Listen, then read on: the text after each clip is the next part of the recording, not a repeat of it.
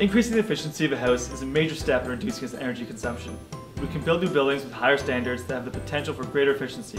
With existing buildings, we need to upgrade or improve them. In other words, retrofit. The Home Retrofit Guide is being developed based on extensive literature review of existing technologies combined with research using hygrothermal computer modeling, small-scale field studies, as well as full-scale field applications. This research explores innovative combinations of materials and methods to develop a cost-effective, sustainable, durable, and healthy building techniques, which we are combining into a step-by-step, user-friendly guide on how to retrofit your home. Our goal is to help homeowners and builders understand the innovations that can be applied to existing buildings within the Eastern Seaboard.